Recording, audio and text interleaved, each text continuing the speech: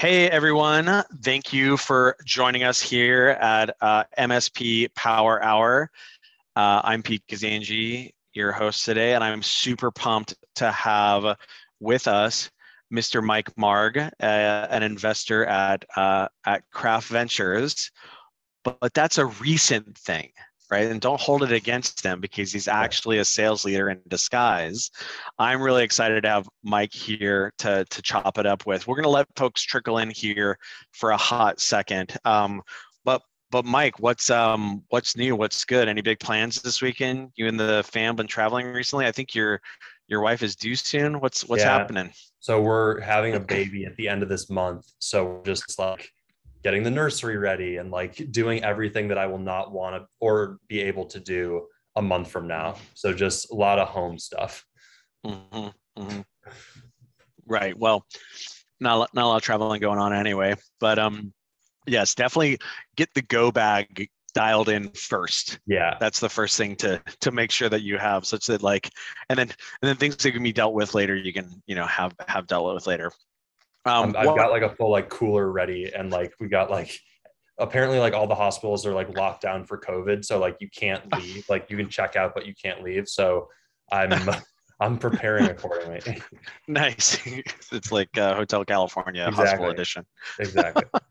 um, wonderful. Okay, killer. Well, um, so hey everyone, thank you for joining us. Um, so, so while we're waiting, um, I'd love to give everyone a few moments to kind of get familiar with the Zoom webinar interface. We're really excited about you participating in this. So use the chat panel, use the Q&A panel, um, etc. Because like what we want to do here is we want to answer questions that kind of come up throughout the conversation.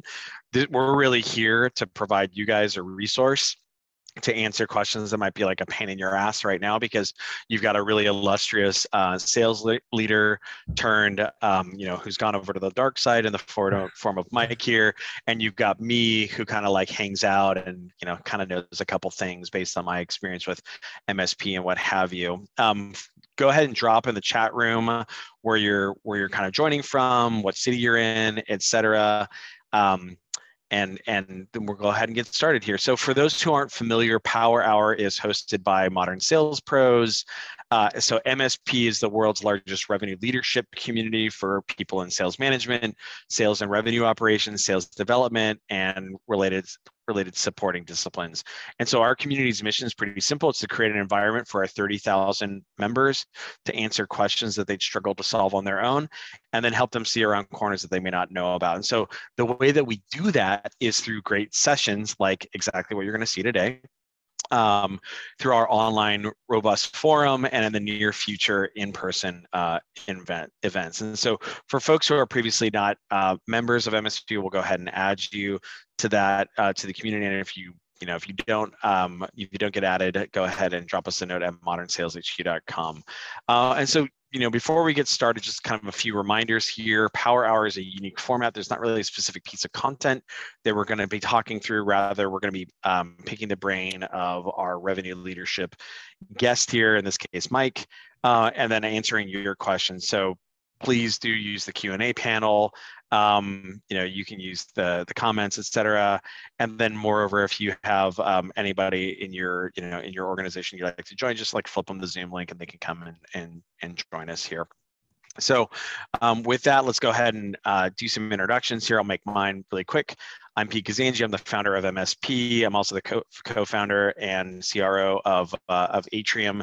Atrium makes data-driven sales management software that helps uh, AE, SDR, and AMCSM managers use uh, data and metrics to improve rep performance.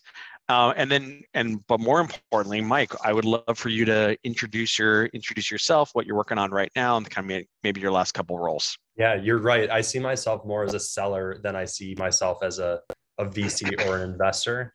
Um, but I've worked at companies like Dropbox, Slack, and Clearbit in a bunch of different sales and sales leadership and even sales enablement roles. I've kind of seen every corner of the sales org and then joined Craft about a year and a half ago, investing in bottom up SaaS. I focus a lot on go to market SaaS. I love APIs. I think Clearbit opened my eyes to how uh, interesting those types of products can be. and uh, I, i'm really go to market focused as an investor i think i care a lot about like who's your persona and how do you sell your deals and how do, how's your org going to scale that's kind of the lens that i invest in which i think is a helpful one yeah the actual mechanics of like hey cool nice narrative bro what's the actual uh, what's the actual brass tacks right uh, there how how big was the clearbit sales organization when you were there it started very small I, when i joined it was probably uh, eight to 10 people. Um, and then now it's probably like 30 to 40 to 50 people. Um, but it, we had like just a couple team, like, like maybe two or three SDRs at the time. Um, and then maybe like when I joined like two AEs and then we hired quickly, like got to five AEs and then pretty quickly got to 10. And now there are probably 20, 25 AEs at, at Clearbit. Yeah, and then when you joined Dropbox, how big was the sales organization?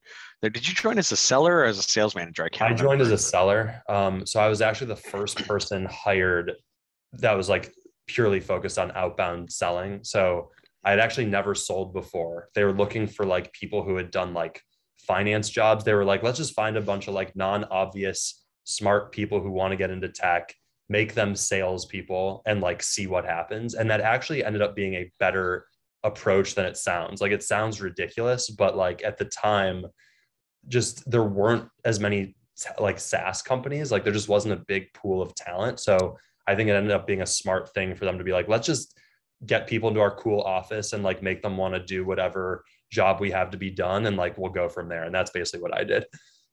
Nice, got it. And then um, wonderful. So so again, folks, please uh, you know please drop whatever questions you might have for for Mike here. Obviously, he he led the Clearbit sales organization up to 20 sellers. And then actually, how big was the the Dropbox sales organization when you went over to Slack? Uh, when I went over to Slack, it had to be 200, 300 people. Like it, it was a yeah, big just, global just a, org. Just, just a couple, right? Yeah. Um, yeah. So like Mike knows a ton, a ton, a ton, a ton about like bottoms up SaaS, you know, sales assist motions, Martech motions in the, in the form of Clearbit, right? Um, IT motions in the form of of Dropbox. Um, but yeah, a lot of a lot of experience around around bottoms up and kind of sales assist motions there. So if you have questions around that, God bless, please share. Um, we have stuff that has been kind of like dropped ahead of time um, here, so we'll kind of pop into that. But like, please, uh, please do note your questions in the chat or in the Q and A panel. We can get into that. Um, so I think you you obviously interact with a lot of sales organizations, especially now as you know as an investor who sits on boards and kind of hear report outs from your um, you know from your partners uh, uh, portfolios and and what have you what like what do you think is kind of like the secret sauce bef- behind the highest performing sales teams that you see at, at kind of growing companies? I think the secret sauce this may sound trite but the first place that my mind goes is the product has to be killer. Like you just have some sort of a killer product that finds product market fit and then it's just like there's such an organic pull from the market to, to buy the product and then it's just a matter of like how do we structure an org so that we don't fumble the opportunity. So I, I, think like that's the common secret sauce. And I kind of know that because I've been in a lot of like, I've had a lot of quarters that felt like it was a clusterfuck and it, it ended up being fine because like there was just so much demand from customers that you kind of can't mess it up. And sorry for swearing. I'll try to watch my language. That's okay. the The audience appreciates that. I mean, we're all like, you know, we're all we're all like filthy sellers here, right? Um, I'm surprised we're not having like beers at uh, at 11 a.m. in the morning. Um, yeah, totally. I think there's an interesting thing there. It's kind of like it's contingent on like the timing of the organization. So like, I mean, and this is really top of mind right now for for me at Atrium um, because like there's there's the initial point where you're trying to find product market fit you're selling those initial deals and actually i have a deck on this i'm going to just drop into the chat room here but like this notion of like hey you've got that early on where you're like a single seller or like a handful of sellers or what have you and then once it's that actually is making sense this is a really hard thing for founders and also early sales leaders to do is like get themselves out of the business of selling or even like directly managing reps and you'd be like whoa not directly managing reps because then what you have to do is move on to building the machine Yeah. that then manufactures more reps. Yeah. And so like that's a little bit of a mind fuck. Oh, see, Mike, you got me doing it too. Um, that like that's that's problematic because and actually um uh, uh, an eight, uh, one of our vendors is a company called SecurityPal. They automate the the completion of of security questionnaires and like kind of they're in this situation right now where like they're like setting the world on fire because like we're customers of theirs and like oh my god you'd have to like you'd you'd have to drag it from my cold dead hands. Um but like they they have the amazing win rates and and like amazing commercial density because like the pain point is like so so so substantial. And so their sales leader right now is like struggling to get out of the business of like helping the reps manage the deals and what have you because like he's got his eye on the number as opposed to like no man like that that is rolling downhill. Like Yeah. that that that snowball's rolling downhill you got to go over here and pull more talent out of the market and then build the system that then onboards those folks and like you know packs them onto the side of the snowball rolling downhill. And that can be like a really big like uh like change of mindset for folks. I know that you have a really good blog post on it that i'm going to share with folks here around like how to do a good job of like methodical onboarding and kind of like building that i call it a self-driving um onboarding process. So like that that can just be like a really big kind of like you know mindset change there. Um what and i think we actually had an interesting question here. Um andrew had an had a question here around like what are some key pieces to the puzzle that get you an aha moment? Um around i i presume that this is related to um the or like a company that you're looking at or or i guess maybe in the in the sales motion itself Yeah, Andrew, I'd love to clarify because you could be you could be alluding to the key pieces of like a sales motion puzzle or the key pieces of a evaluation of a company puzzle. So feel free to drop in the chat if if I'm going the wrong direction. I interpreted I interpreted key pieces of the puzzle give you the aha moment as uh like just uh, yeah looking at a sale from the outside and going oh this is like a killer sales but I mean I, I think basically like big deals if you can sell big deals and you don't have a huge competitor in your space like that's immediately very interesting. Um and i think like the lens of what i want to sell this product is a really good lens to invest in. And Mhm. the products that i would want to sell i'd be saying to myself okay there's a world where i could sell this for you know six figures. Like i could sell like pretty big deals where i show this to a customer and they're like holy shit there's nothing like this. Like this is amazing. Let's talk more. And you're not competing with like microsoft or these huge giants in the space. Like security pal f- fits all those uh, attributes. Like there, there's someone that i tell my personal friends like hey you should join this company because like you can crush your quota. And uh, it's a really compelling product that like no big player is going to try to uh, tackle this Yeah, and I think that that this is something that we think about quite a bit at Atrium, right? And uh, like this is both a sales behavior and it's also like a product management behavior as well. And I guess it kind of in between, it's like a product marketing behavior, insofar as it's like, how can you rapidly manufacture that? Like, oh man, oh man, Yeah. now I now I need this moment, and um and and so it's it, it is fascinating because obviously we talk about like PLG stuff and bottoms up SaaS and whatever, and usually that that oh man oh man moment is for like an individual contributor.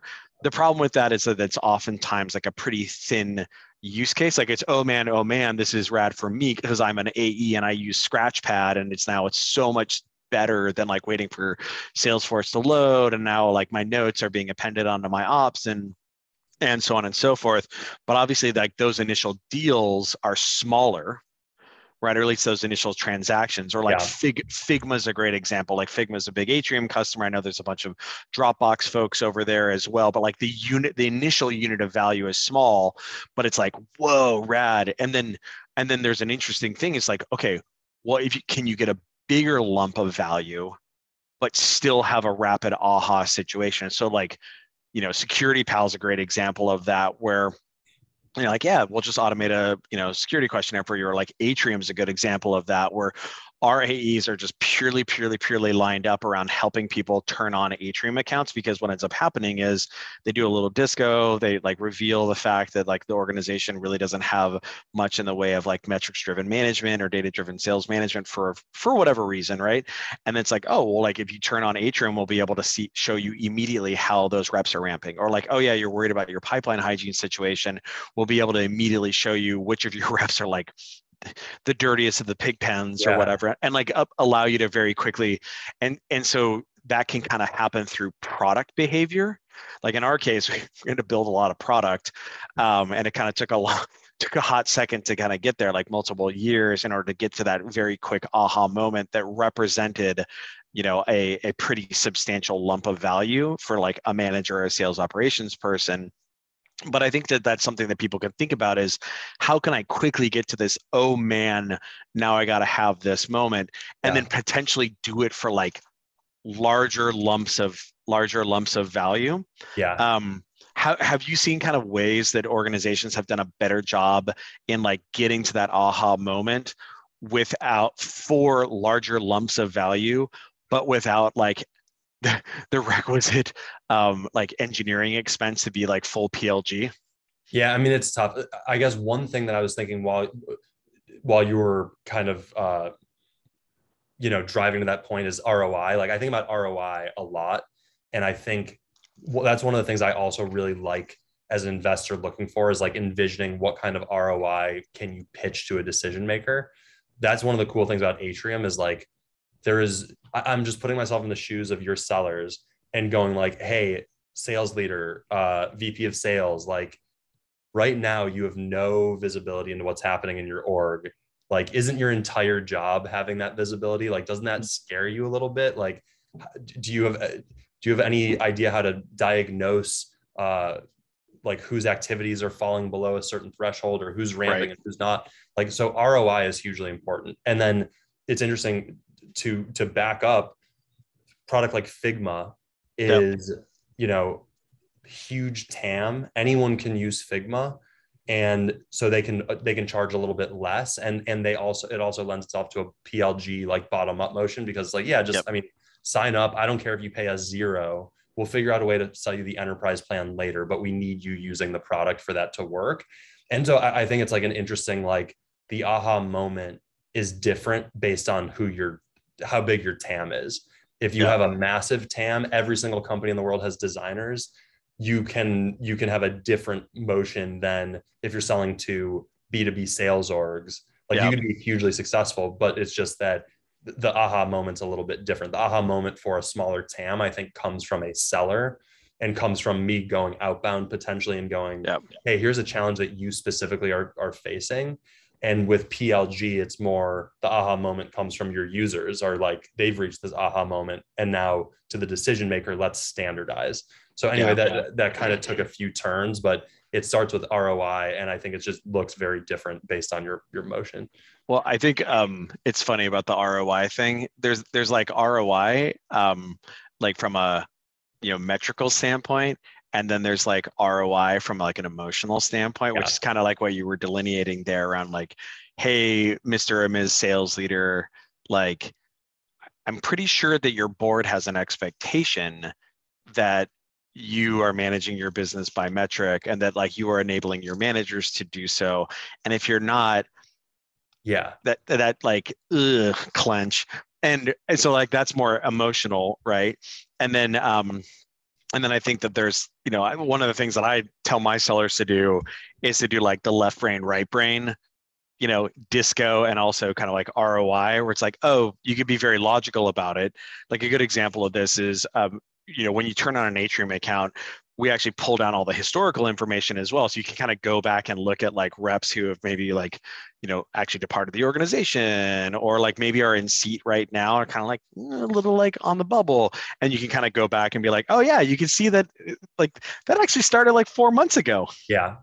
Yeah. Totally. Wouldn't, wouldn't have been nice if, and of course that's like, a little bit more kind of like left brain instead of like hey cool if like we could improve that person's performance how many more of these people are going to have these problems in the future yes.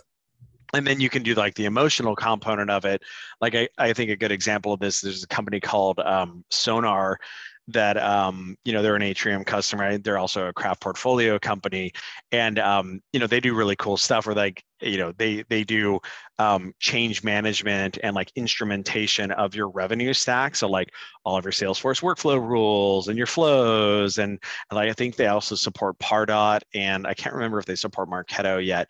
But the whole idea is is like I mean, we all know this is like a lot of us end up kind of being like deputized Salesforce uh, admins. Is you go in and you like you do all this like administration, like automations or whatever, and it's like totally opaque, right? And so what Sonar does is like they jump in there and they like analyze uh, all that and then like essentially show you where either you or like other people in your organization have like laid landmines yeah in your automate so the, but think about the aha moment of their sales motion where it's like yeah let's go ahead and like turn on sonar to like interrogate your salesforce salesforce account. It's like cool here's all the things that are currently broken right now. Yeah. Right? And then moreover have you ever had a time where you changed something and it broke something really important like i don't know the demo request flow right? And the person's like uh yeah. Cool. Well wouldn't it be helpful if it, if something like yelled at you yeah. before you did that? And like so you could do like the ROI version of that, like, oh, what's the cost of a lost demo, et cetera. Then there's also just the like, man, you'll be in a lot of trouble, won't you? Yeah. if that happens. There's a, there's a couple things that this brings to mind. One is like, I've, I feel like I've done so many discovery calls in my career mm-hmm. that you start like, it's easy to sort of go like, okay, if I were doing a discovery call around Atrium or Sonar, how emotional you're right it is all emotional. Roi it, it starts with emotion and maybe you can justify with metrics but like it really lives in the emotion of it. And i'm, I'm trying as an investor especially you're like okay if i'm selling this product how emotional is the the buyer persona over this? And i think sonar is a great example. That's and interesting ops professional gets very emotional over like oh my god like i've i've nuked my salesforce and that was the worst and if you're telling me i can avoid nuking avoid it like that. amazing yeah and and by the way contrast this to my experience at dropbox which i think is an iconic company but there's no emotion based sure. on the product that we sold at the time i it has it has evolved since then but at the time sure. you're going to an it leader and going hey you have a bunch of usage you want to like centralize it there's not a lot of emotion there. You're not solving a business problem.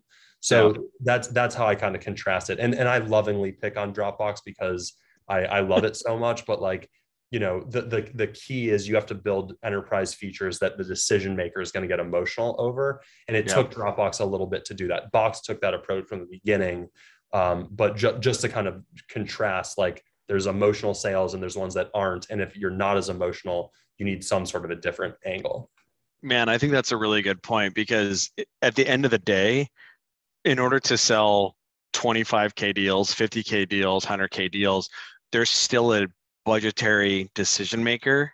Unless it's like an API and it just like sneaks up on you, like a segment or a snowflake or whatever. But even then, like you're not going to get to like 10k or like 25k of spend on on a credit card like there's going to be someone who's like involved in like in signing off on on the budgetary decision and so if you can show them something around either a this is how you're going to get promoted or b how this is going to help you help prevent you from getting fired um, I think that's a really compelling thing. And now that you're making me kind of think about that, I think we do that somewhat in our in our discovery conversations where our AEs are talking to like SDR managers or AE managers or what have you around like what are your hopes and dreams, right? Like, well, you know wouldn't you like to be able to manage you know manage by metric and be data driven without having to rely on sales operations right? Like you know doesn't that be, wouldn't that be a great superpower to have? And wouldn't you like to like maybe not feel like the the weak sister there as compared to the the people who can do all that reporting or what have you? And then moreover don't you want to be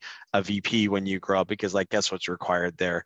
Um, a really great example of this is um, there's a guy named John McMahon who um, you know he was the one of the fathers of MEDDPICC and he was a sales leader at um, at ptc so parametric technology corporation. He's on the board at snowflake. He wrote a book called the qualified sales leader that i just dropped into the chat and there's a really good section on uh, discovery in there where he recounts a, a story of him getting cold call by an insurance salesman, a life insurance salesman, who like through very provocative question, um, like you know interrogation, kind of like Socratic method, leads John to realize what a problem it would be if he like died with while and before his his kids had gone to college. So I really really heavily recommend it because it's a great example of selling a completely commodity product yeah. in the form of insurance like life insurance and the guy just like nails him through through discovery in a very very compelling way and I think like applying that to your own motion can um can be really powerful. Yeah. Um, when I'm thinking about discovery, like what I want to do is create like a 3D like hologram that I can see in my mind's eye of like how this org operates. and I'm not really trying to like convince you or sell you. I just like want to understand the state of the world as it relates to my product.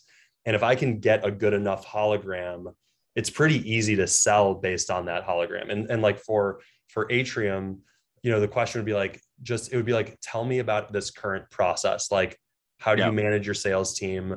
how do you like tell me about um, how do you see and visualize their metrics? How do you identify problems before they happen?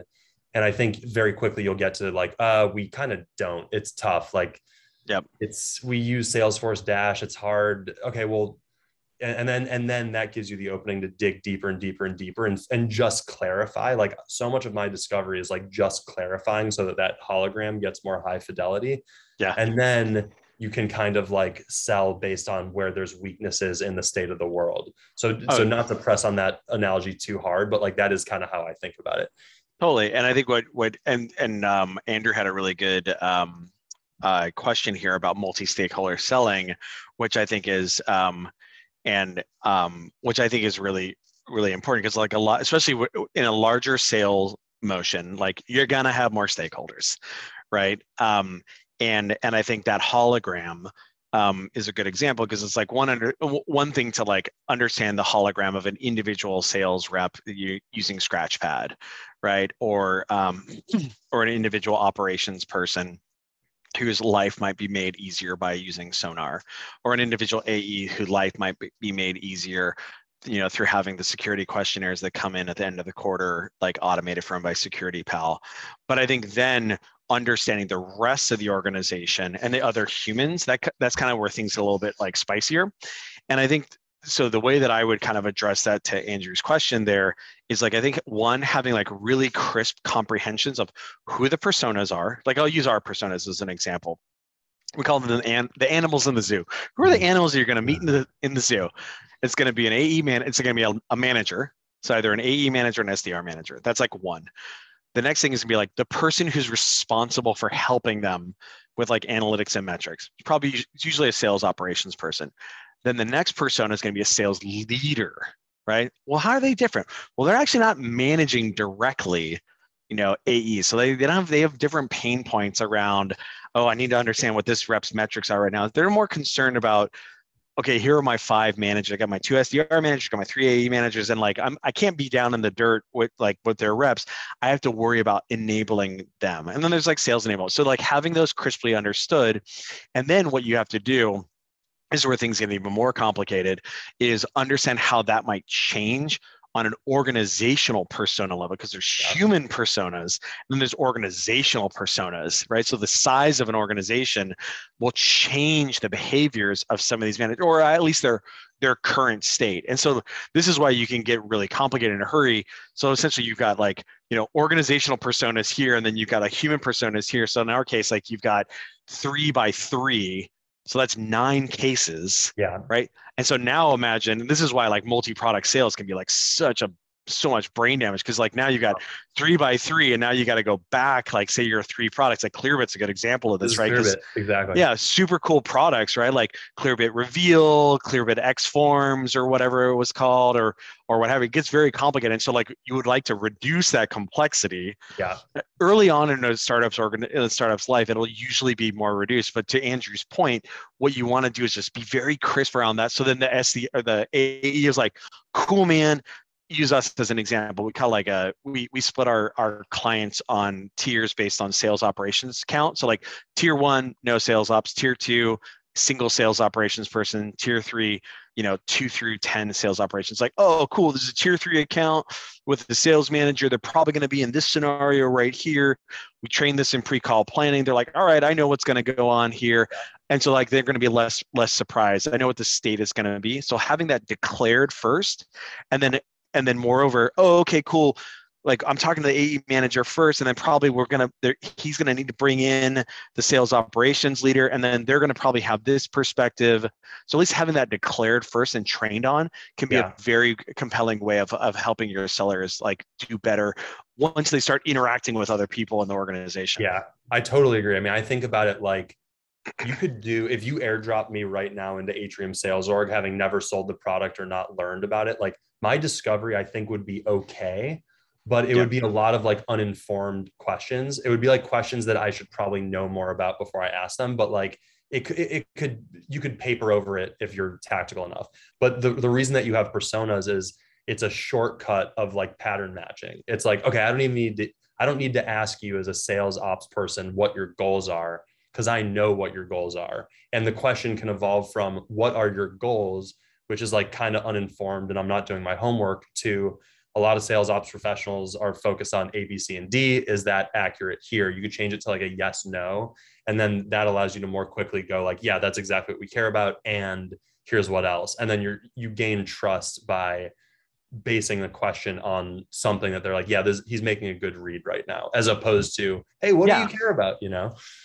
Mean, this is the thing that like reps really struggle with, and this is uh, um, I'm this kind of goes back to the thing we were talking about earlier about like a self-driving onboarding and and so on and so forth because like the reps oftentimes are afraid to have a like deeper, richer discovery conversation, and instead they just kind of like go down what essentially is like a lead form. Yeah. How yeah. many AEs do you have in your organization? How many uh, like how many sales operations people have? I don't know, man. Why didn't you do why didn't you look on LinkedIn and pre-call planning? What right. the hell? Right. And so like so and and so if you can get folks trained to the point where they've gone through enough of those game simulations where like, cool. So I was on your website earlier it looks like you sell a martech solution that's an email sending platform to these large i saw pepsi and coca-cola and like you know whatever on that. These seem like large organizations that would use this. This feels like a high asp sale. Yeah. am i thinking about that correctly? Oh yeah totally awesome. Well oftentimes in you know high asp sales like this I imagine you have outside sellers um, you know you have outside sellers probably like struggle to have visibility into the, their activities. And then moreover oftentimes there's an expectation that those folks are doing a lot of prospecting because like breaking into those high level decision makers can kind of be challenging for an sdr to do. And, and like am i on the right path here? Am i off? Oh yeah totally. Right um, they are supposed to prospect xyz awesome oftentimes we find that um, those enterprise reps they're not so stoked on uh, on prospecting are they? No they're not. Well how do you yeah. measure whether uh, like how do you measure how they're doing that or not? Exactly and now you oh, just, we do, oh we don't. That level of questioning allows you to cover so much ground because like you kind of want to be careful when you're sending someone off into a five minute answer like it's really good in the right oh, place. yeah but like it, narrow them. Exactly you don't want to ask like like again in my example if i don't know the persona and i'm like so what do you care about? Okay that's now five to ten minutes of the discovery call well actually i like, really like the niners. Oh right. okay. Exactly. So it's like by asking yes no questions until you're ready for the open-ended you can sort of like establish establish establish and then send you into pain territory ideally. Um, yep. so yeah I, I think good questions and understanding your personas allow you to do that really effectively yeah. So the way that we the way that we do this um, I, here at Atrium is one we have like a bajillion. So like first we have those personas. Great. Right. Then what we have is we have a bunch of calls, like exemplary calls from Chorus in a document where again it's like that here are the personas here's the organization personas like these are all disco calls so it's like a tier one you know, tier one disco calls with SDR managers, and it's like three calls, and a you know a tier two organization with SDR manager. So like that matrix is all filled on. There's like three or four calls each. And then we do the next thing with like not just the disco call, but instead like a demo. Because like one of the things with Atrium is we actually turn on an Atrium account, and then we we do what we call a product tour, where we have the the prospect actually driving through their their atrium instance now of course it's tied to disco. Like oh you said that you had 10 aes that were ramping right now. We're going to go and we're going to look at how those guys are ramping in your atrium instance but then we have those product tours. And so what and so like that's literally what our aes i have a class of four aes that are ramping right now. They're going through those disco calls. And then what i have them do is i have them score them.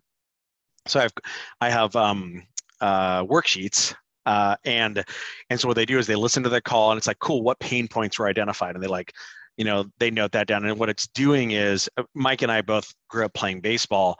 Um, one of the my favorite things in in baseball practice was game simulation. Yeah. right? Where it's like hey okay cool like you know first and third uh first and third this is the count what's the situation? Yeah. Right? Like you're a third baseman, you're you're a shortstop, you're a right fielder. What's probably going to happen there? And then the coach goes and hits it wherever he or she is going to hit it, and then and then like things play. And then what you do is you do enough of those game simulations. Like, cool, second and third. What's the situation? Okay, person's on third. Oh, it's a bunt. What were you supposed to do? Right. And yeah. so like pre- prep ahead of time.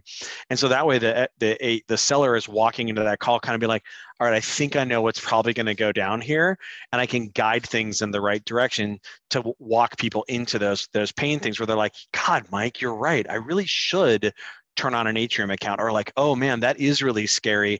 I should set up sonar to see if there's any automations that are currently broken right now.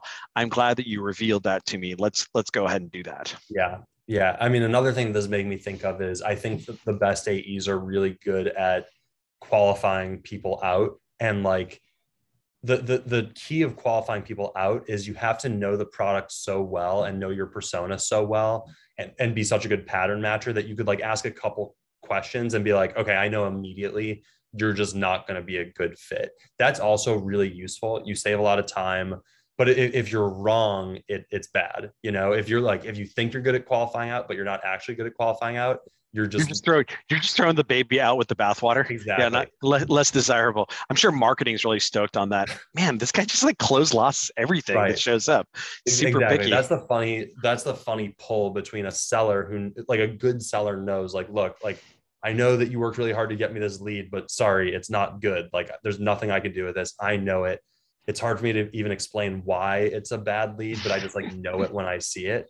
Um, but again it's hard because you better be right you better be accurate if you're making those qual out decisions but like that's what good aes can do is like i can ask you three questions and, and as efficiently as possible either be like you're called out or like actually you've hung in there where a lot of people die in the atmosphere and like let's yep. okay now that i sort of understand there's something here now where can i take you to like get to pain and get to impact ideally yeah one of the things that's challenging there this is like this is a tough thing with bottoms up and PLG because what can happen is you you can demonstrate value. Right? You can reveal pain and demonstrate value and then and then potentially like will a transaction into existence but if you like showed up and did like BANT qualification on somebody in that situation. You're like, like imagine we were selling sonar, right? We're like, hey, so when's the last time you like totally broke an automation and everyone wanted to choke you? Oh, I like two two weeks ago. Okay, cool. So what sort of budget do you have in place right now for um, software that monitors your uh, your revenue stack automations? What are you talking about? That category doesn't exist. I don't have any budget for that. What? Yeah oh, I'm going to call you out. That'd be terrible, right? It'd be like right. stupid. And so I think the, especially when you're dealing with like new categories and and organizations like who will un, will be unlikely to have an initiative in place, it, like like yeah, it's it's tough. Like, what's the read option there with the yeah. AE who's like, okay, I'm going to keep it versus like, okay, no, you're going to keep it and you're going to get plowed by the linebacker. Like, how, like, yeah. what's the way to deal with that? I think so. You bring up a good point that you never qual out based on pure budget. It's like you qual out if like they can't get benefit from the product. That's the way. That's the reason that sure. you call someone out. If you're like, you just aren't equipped to use this product, or like there's absolute. I've asked every single way I know how, and there's zero pain and again, this happened a lot at Dropbox, and it just or perception me, or like perception of pain, right? Yeah, ex- exactly. This and this this was something that I saw at Dropbox a lot, and I'll explain why. And I also saw this at Slack a lot, believe it or not. But the huh. reason is these are freemium, you know, bottom up products, right? A lot of the pain can be solved by the free product. It's like, hey, do you have do you have challenges communicating and no, we use Slack. Yeah, we use Slack. We love it. It's great. Like, okay, cool. Well, now I have to find pain around free versus paid. So the the yeah. only pains there are, hey man, does it suck that you can't connect this to SSO? And they're like, not really. It's totally not fine. really. Everyone did fact, it. Yeah. right. Don't bring IT into this. I'd really appreciate it if we could just keep using this product the way that we like using it. So that that's another interesting point. Is like, is it a, is it a pain in your ass that you can't go back and and like search for your historical stuff? Not really. Kind of don't yeah. care about it, right? Yeah, it only yeah. affects us beyond ten thousand messages, and that's fine. So like I guess the message here is if you run a PLG company, like product really needs to talk to sales and understand and give sales levers to like exert yeah. uh not I mean power is the wrong word, but you need some sort of like there's got to be a value offset, right? Like there's got to be something there. Like I mean, this was the biggest like segment segment had this as well like the longest time like their biggest competitor was the free account and this is what happened i think to your point about like product and engineering got to talk to sales and you know maybe there's a little product marketing in there kind of like doing marriage counseling at the same time in order to say like hey how can we package this better in yeah. order to create a, a compelling situation yes. around this and so like the long for the longest time segment was really really really reticent to um, to do event capping which makes sense because like you want to get like you want to send lots of events into segment over into snowflake or redshift or whatever. And so one of the things that eventually they figured out was like having the big the the big delta be um, frequency of syncs. So rather going from like you could only sync once once a day from segment to redshift or snowflake to like doing that every hour that was a very very very powerful lever yeah. because if you only were like using segment to send data over into snowflake and then like you use looker to like look at whatever and it was like cool like the frequency of data update refresh doesn't really matter versus like no no no no no like we need this to happen quickly because it's going to drop people out of certain audiences and we don't want people to be getting maturation emails that are like not pertinent to them anymore well like those are very valuable use cases yeah. and a seller could be like cool so like help me you know walk me through how you drop people out of audiences yeah. right or like make sure that you're not spending on facebook or instagram when you don't need to be doing that how do you do that right now oh well like we we do it every like you know every couple days or whatever. Oh okay what would be the benefit of like being able to do that like recurringly? Yeah. well it would be really rad in these like along these vectors. Okay wonderful. That's why you need to pay us $15000 as opposed to free. Yeah exactly. I think the thing that like these types of companies maybe don't fully understand it's usually coming from their founders i think or like yeah. people at the top who are usually more eng focused and aren't as sales focused like bottom up is a lead gen mechanism. Yeah, Full stop. That's it. That's all it is. Yeah. Like it, it's not anything more than get someone to engage with you in a way that you don't have to pay for. And yeah. it, it, it requires a nuanced discussion of like what features can we afford to give away for free, but also how do we hold back enough that sales isn't totally toothless? Because if you have a toothless sales team that like they're not holding back any features that people desperately want or need or like yep. management or security or whatever it is like you are setting them up for failure. And guess yep. what? Like the goal of your company is not to create a product that like hangs around and is used for free forever because that's just a terrible business. Like you have to view it as a funnel where you're you're educating people about the power of your product. Like that's the favor you're doing with free is you're reducing the friction for them to understand what you do and then yep. you just got to put in barriers at a place that makes sense to sell you know you got to sell. Yeah.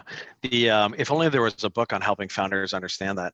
Um, the uh, the yeah I, I i think that the, the that is definitely a big uh, a big area of friction. I think it is getting a lot better in that regard. I think another way you can do it though and i think you were we, we were talking about this in the craft um, go to market mm. leader um, roundup the other day or roundtable was around like the delta between like a freemium behavior versus like a bounded trial behavior yeah right and so um, one of the ways that you can kind of like obviate a lot of this. Now you lose the lead gen component of it, and I, I like your point there. It's one of the things I like to say is like never mistake your lead gen for your business. Yeah. And one of the things you can do there, and I actually like the Datadogs of the world do this. Um, there's others as well. You just do like a bounded trial where it's like 20 days or 30 days or whatever. Maybe it's sales assisted, maybe it's not sales assisted where you get them like full God access or what have you. And then, yeah, maybe it constrains back down to some sort of free version or, or maybe it just goes away, right? Um, that's one way that you can kind of like skin that cat by like not having to contend with, oh, what is the set of features that is going to be in the paid versus the free, et cetera, et cetera, because like that's a more nuanced thing versus like, okay, cool, it's just like 30 days you have the full Monty, and then after that, like, cool, we're done or not. Yeah. And I think you know, Datadog has been very successful in doing um, in doing behaviors like that. Um, I wonder what other you know example. And actually, I think that you have a, a blog post on how to run really good proof of proof of concepts and like trials, right? Yes. Let me share the link right now. But the the yeah. TLDR is like, first of all, I, I really like the trial motion I think it works really well when you need some hand holding, like yeah. Dropbox or Slack, when you just like sign up and get started, like there's no real value to a trial. Sonar, where it's like, okay, we got to set some stuff up and like make sure that you actually are finding everything and setting everything up. Trial makes sense because you're increasing the amount of value that they get from the product dramatically with human intervention. So, yeah. and then the other thing is like, there's just a lot of sales orgs where trials are kind of on the bubble like maybe you use them sometimes they're harder than it's worth but like yeah there's times when it makes sense to, to prove the value i'm just a big yeah. proponent of like being extremely careful what you give to someone and like require trades for everything like hey me granting you a free trial or poc is a, is a favor i'm doing essentially it's re- going to require resources you're getting advanced tiers of the product so it's being very clear ahead of time before you give those things or agree to those things. Here's what I need in return. I need, we need to be prepared to make a decision. Like if we're just going to trial and you're not going to be ready to buy for six months, let's simply wait until month five to start the trial, right? Like yeah. I need to make sure you're like actually in a buying window.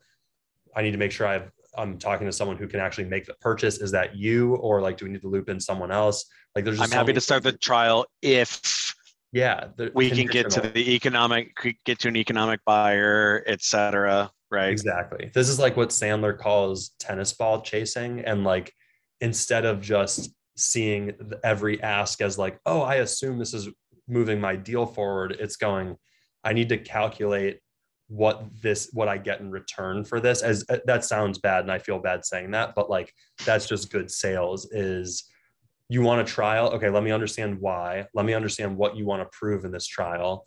How do you how do you want to measure it? Like it's it's getting very like i'm really controlling this process and withholding things that they want if i'm not getting something of equal value in return. And the things i want are commitment to a timeline i want to understand how you're evaluating. I want to understand who's evaluating. I, and again the hologram analogy holds true. I want to picture how this decision gets made over the the course of the trial period.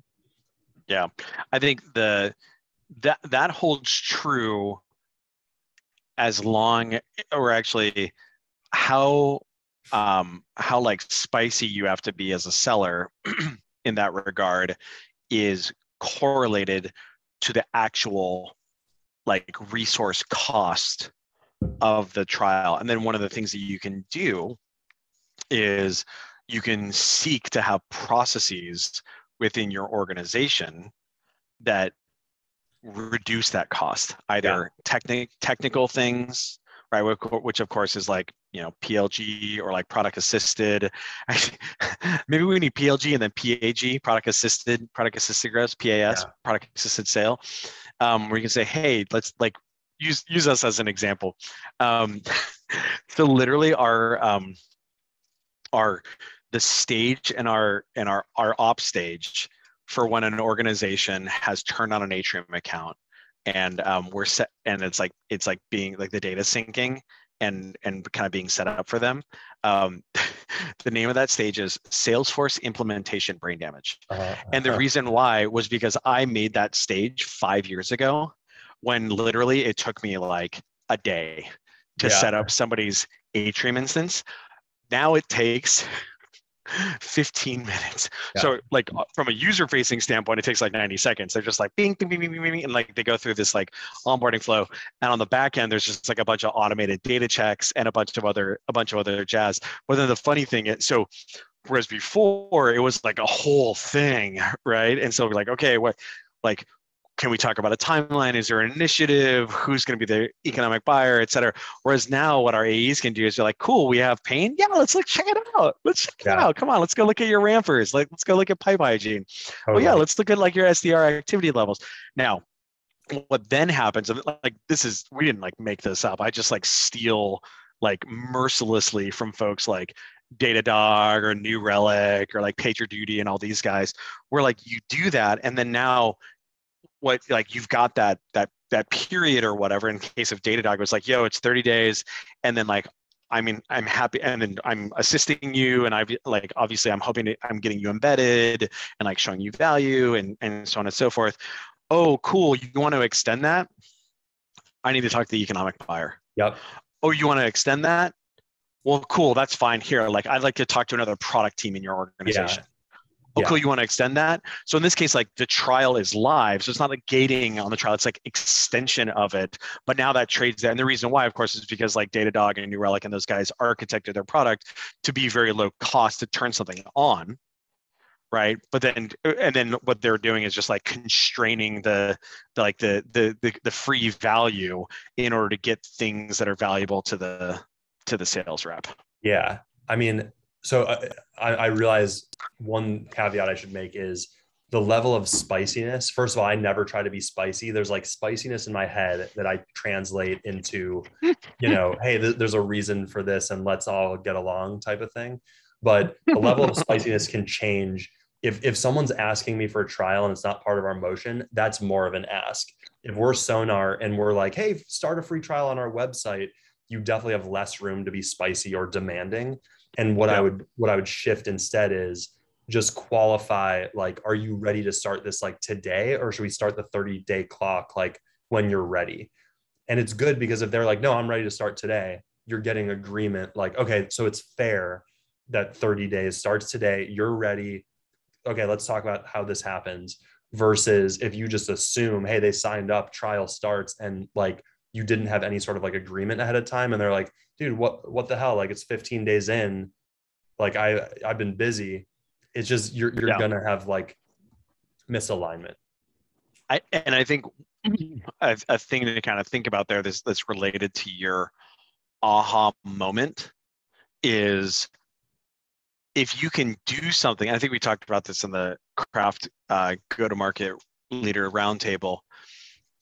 If if you can get something that is valuable for your organization, like a good example of this would be um, before having that like brass tacks conversation that then has like persistent value that can be very like that can be good. So as an example there use use sonar right?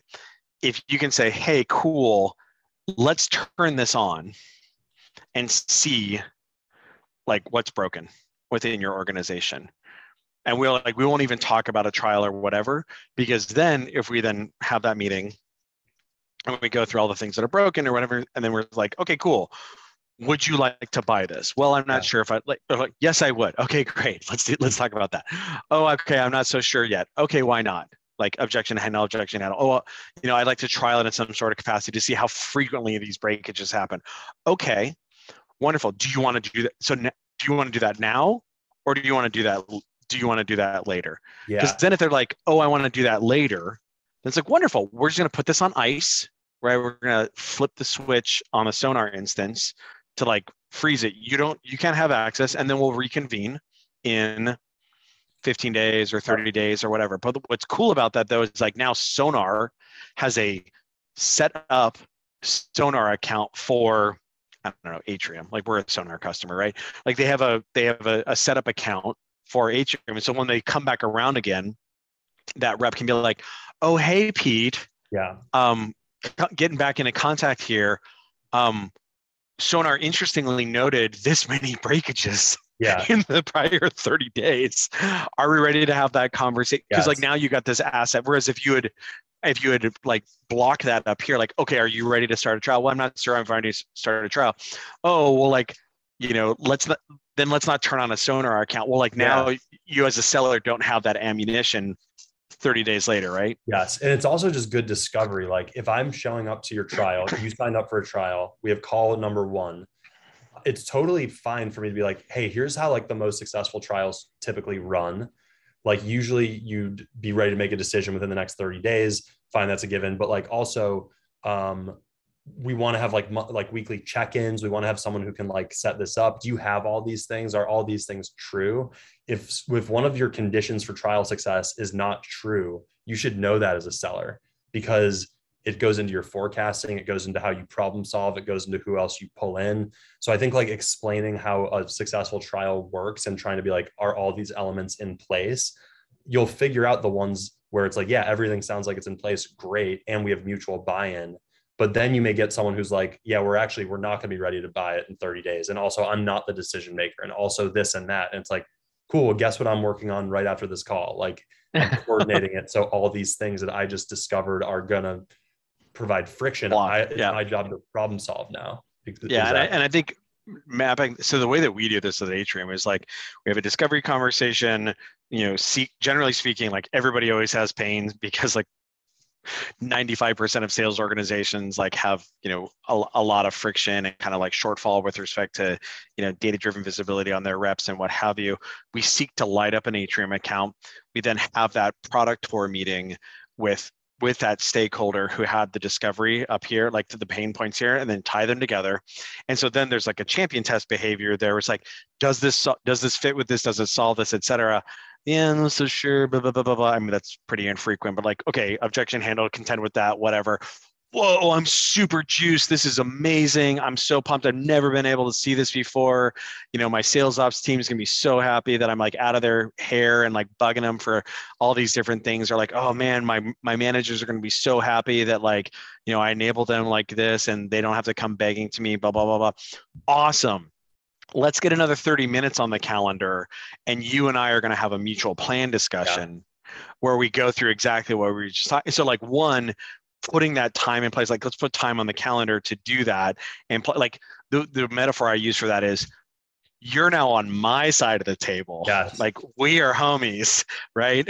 and then we're going to go throughout your organization. So like one, have the time to do that. And then the second thing that I think a lot of people don't have in place is what are those other like i mean they're just essentially like stage exit criteria right but the, like have that checklist of what is needed et cetera but like actually declared in a checklist. And so the mechanism that we use for this is we're starting to use mutual planning software.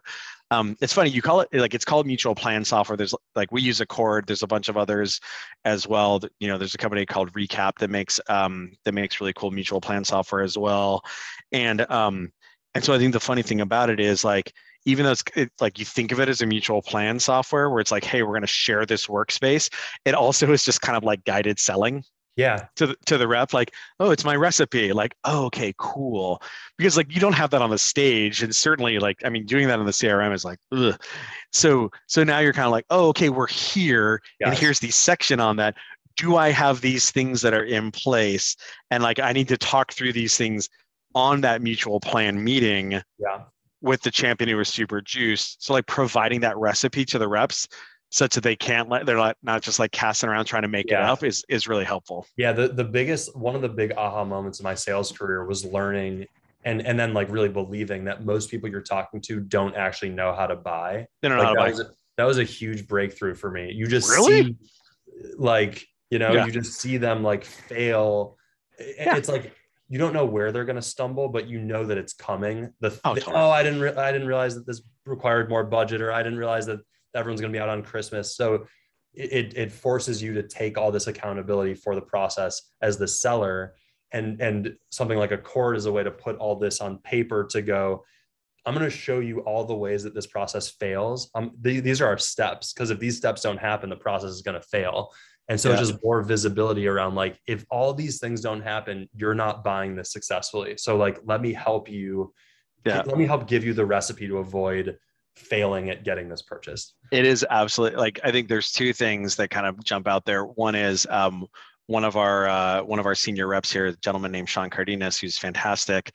Um, you know, he has this great question, um, great qualification question because you should always be qualifying even outside of discovery eh, for that meeting, which is like, hey, walk me through how you most recently purchased software at blah blah blah. If the right? answer is no, then you know you're you got to yeah. talk to someone else, right? Right. Like walk me through. Right. Yeah. Walk me through. Well, I do do do i don't know. Yeah. Right. It's just like, okay, cool. Like at least we know. So that's the first thing. And I think the second thing that um is really pertinent that you brought up there is that like we as sellers, people think about sellers as like selling something. And and one of the I think and they have all sorts of preconceptions, you know, like used car salesmen and like silly stuff like that. And so the I find that some metaphors that can be really helpful there to help people understand how they should be viewing their role is like one from a discovery standpoint, are you a consultant that happens to have a predilection to a, a specific product? Yeah. Right. So you're consulting with them. And then the second thing is that people don't necessarily think about. Sorry, my uh, D the light died here um, is an an external project manager. yeah. Literally, yeah, exactly. she's like an external like cat herder. And That's like if you, you think about that, like yeah, because people don't realize they're like, well, they should know how to buy. It's like, what are you talking about? 26 year old SDR manager. Like, yeah. No, they don't know how to do that, right? Come on, like like help them. And then it's almost a valuable thing. Like I'm going to show you. Actually, we we do. You're probably familiar with Richard Harris. We we have him do trainings for um, our customers on just like good management. It's not even like atrium stuff. And like part of it is so that is the SDR management thing is like how um uh, like how to be a good SDR manager is like how to get budget for your tools. Yeah. Same with on the AE side. Yeah. As well. So like if you as a seller can like, hey, I'm going to help you do this, not just for my own benefit. This is gonna be good for you from a professional development standpoint. Great. Yeah. Totally. Totally. I know. Uh, I know we're at I don't know. Yeah, we're. I got time, by the way. But no, I, we uh, gotta we, we gotta wrap because people gotta bounce. But um, but um, this was super rad, Mike. I I, I hope you had a, f- a fantastic time. I certainly did. I am sure that everybody, yeah, it's like super fun. It's just like geeking out. We should do it beers, um, geeking out on sales stuff. Um, hopefully everybody else was was super pumped on it as as well. Um, next Friday we have another really fantastic sales leader who's taking a vacation at a venture fund, kind of like Mike. Uh, a gentleman named Travis Bryant. He used to be the the VP of sales at um, at, at Optimizely, and then he was the head of sales at Front. Um, and so he's going to he was at salesforce for god god knows like 10 years or whatever. He's absolutely fantastic. Um, so please come join us next week with uh, with travis there. And then mike have a great weekend. Really appreciate you taking the time and uh, you know we'll, we'll have you back on again in like a quarter or so okay? Thanks pete. Yeah you'll hear some uh, crying baby noise in the background but i'll, I'll be excited for that. Sounds amazing. Okay later See ya.